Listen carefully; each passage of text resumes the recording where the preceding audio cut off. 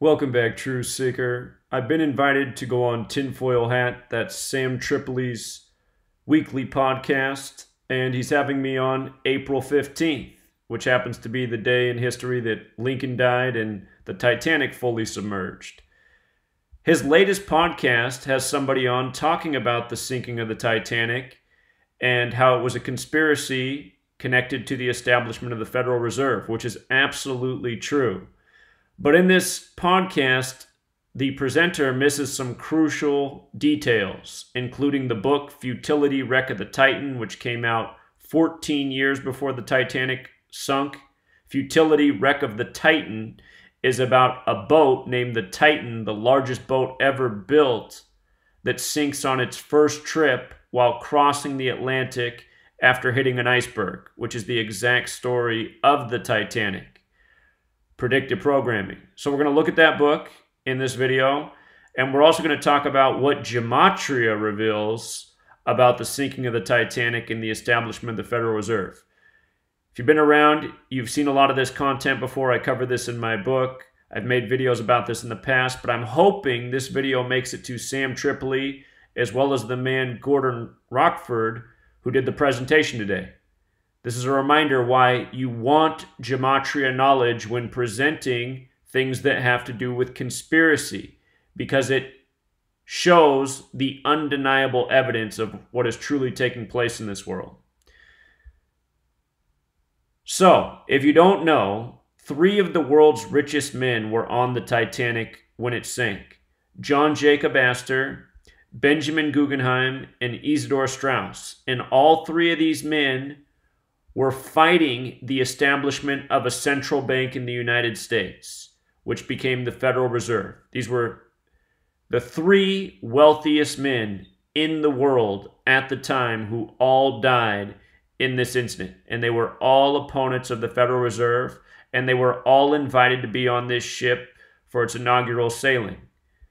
Of course, J.P. Morgan put out the invites, the man who financed the ship, and it was J.P. Morgan, the banker, who got off the boat just as it set sail. He said he felt ill. He didn't want to go on the trip. He was under the weather. And clearly, the real reason he got off is because there was a planned conspiracy to sink this ship in a massive scheme, a well planned scheme. And let's look at just how well planned it was. So, shout out to Ben. Ben's now in college, longtime follower of this work. When he was in high school, it was actually him who made this observation that was so brilliant. From the day that the Titanic fully submerged, April 15, 1912, to the day that the Federal Reserve was established was December 23, 1913. And from those two events was 617 days. And what's 617? Well, it's the 113th prime number. And what do we know about 113? It has two meanings. One, it's very important to the Scottish Rite of Freemasonry, which we'll cover in a moment. The other 113 connection is from the Talmud, the Jewish text where it says non Jews are an animal race, they're Gentiles, they're Goyim, they're too dumb to be considered human. And in Bava Kama 113a, it says Jews may use lies to circumvent a Gentile, a non Jew. And the number 113 has so much to do with deception mainstream 113. And think about what the mainstream is it is a stream of lies, propaganda, programming.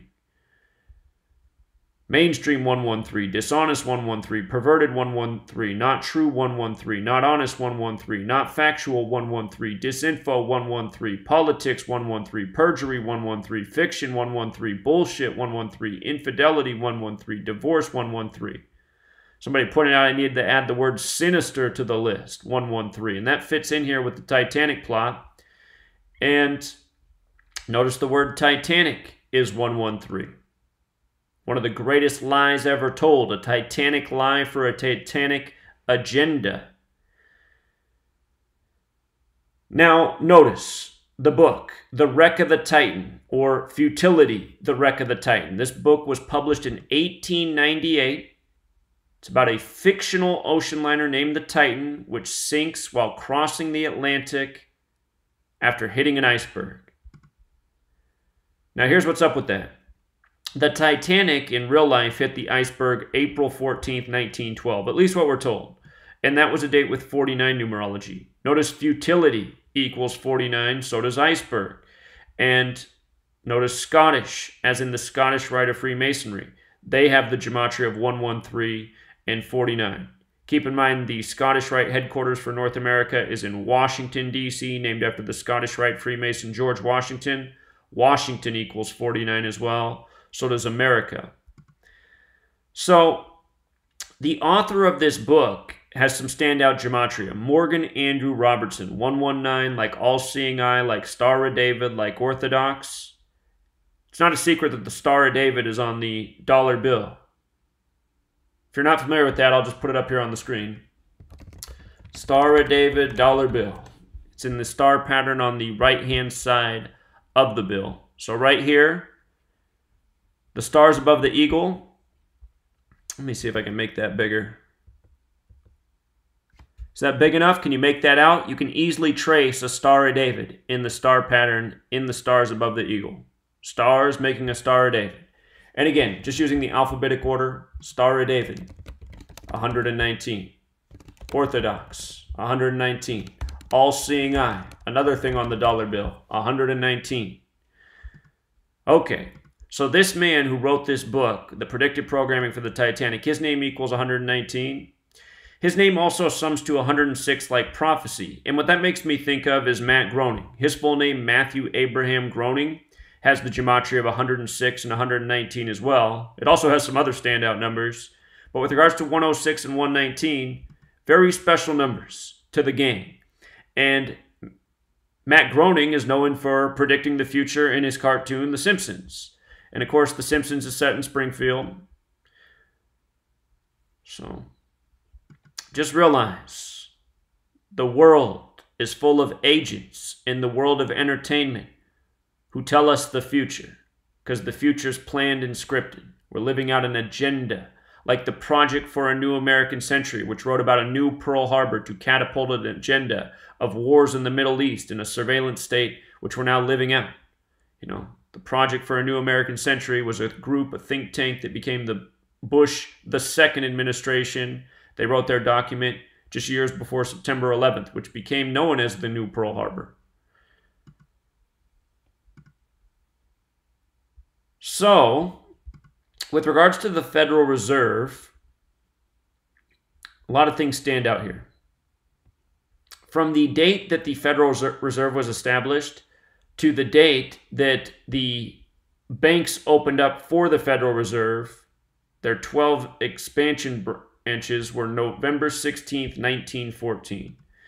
And notice the uh, plan for those 12 banks was April 2nd, 1914. They opened up a little more than seven months later. But from the establishment of the Federal Reserve to the opening of the 12 extension branches was exactly 47 weeks later. 47, and what does banks equal? 47. So they open up their banks 47 weeks later. And what is it about 47? That's the number of degrees on the Masonic compass. In tribute to the 47th problem of Euclid about how to establish foundation. Foundation equals 47. Thus, why this nation's birthday is the fourth day of the seventh month. Thus why the cornerstone was laid for Washington, D.C. on a date with 47 numerology. And many Masonic structures had their cornerstones laid on 47 days. But notice, Federal Reserve equals 143, like Scottish Rite of Freemasonry.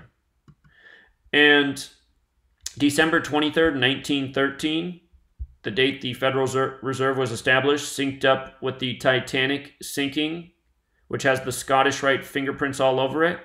Notice Scottish equals 49, like Washington, like America. And again, what did we just cover? How the book Futility, Wreck of the Titan, came out on a date with 49 numerology, and Futility and Iceberg are 49. This is a master plan. We're living out a master plan. It's being executed every single day. Every single day. And um, I encourage people to listen to this presentation. He does a good job, but he could really take it to the next level with this knowledge. And I hope, you know, again, Gordon gets his hands on this presentation. And uh, in the future, he's sure to tie in this knowledge. Scottish Rite of Freemasonry. It's what has the greatest influence over our federal government, over our banking systems, and arguably this world. And somebody out there is going, no, no, no, it's the Jesuits. You're right. The Jesuits are a part of it too. So are other Masonic organizations. The Jesuits and the Scottish Rite share a lot of connections. They the motto of the 32nd degree of the Scottish Rite is the same motto as the Jesuits. And again, Scottish has that gematria of 32 as well as 49, just like America. And Washington, D.C. once used to be the Catholic colony